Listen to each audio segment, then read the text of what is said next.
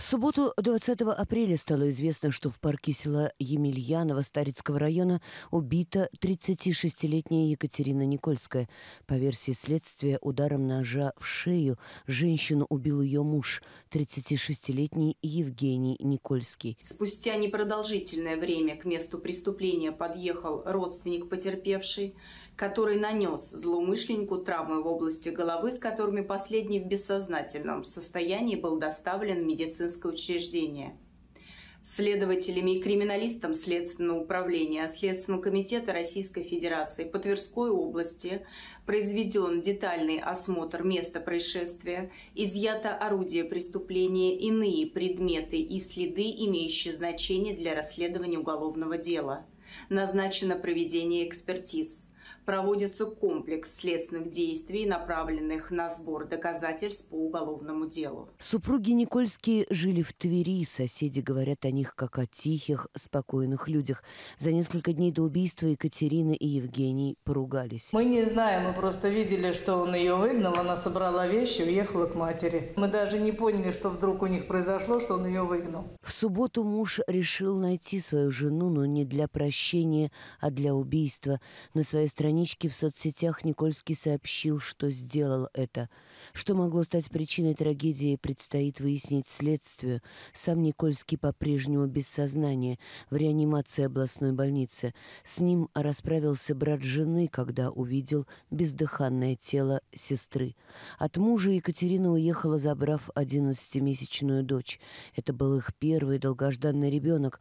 В свое время Евгений Никольский собирался в политику, был кандидатом в депутата от партии «Справедливая Россия». Уголовное дело возбуждено в Ржевском межрайонном следственном отделе регионального СК. Мы следим за ходом событий. 19 апреля от резкого порыва ветра в поселке Козлово Конаковского муниципального округа упало дерево и придавило семилетнюю девочку. У ребенка повреждена нога. Это случилось возле Козловской городской больницы. В ходе проверки будет дана оценка обстоятельствам произошедшего. При наличии оснований будут приняты меры прокурорского реагирования.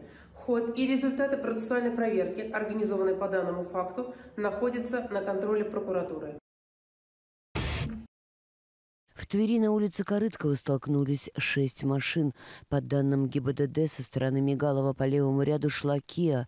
Идущий по правой Volkswagen опережает Киа и подрезает ее.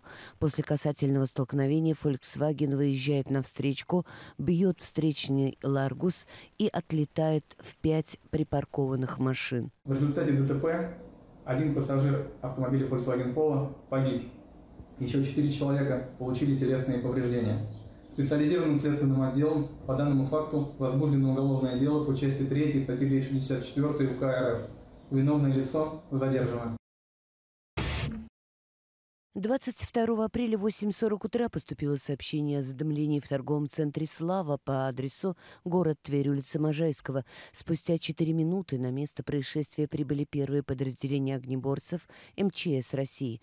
В 8.52 возгорание было локализовано, а в 9.13 полностью ликвидировано. Пострадавших нет, причина пожара устанавливается дознавателями МЧС России. До прибытия пожарных подразделений из здания вышли 50 55 человек. От МЧС России на месте происшествия работали 48 человек и 12 единиц техники. За период с 15 по 21 апреля 2024 года на территории Верхневолжья ликвидировано 32 пожара, на которых спасено 2 человека. Также за отчетный период пожарно-спасательные подразделения привлекались для ликвидации дорожно-транспортных происшествий, в которых, к сожалению, погиб один человек. Происшествий на воде за отчетный период не зарегистрировано.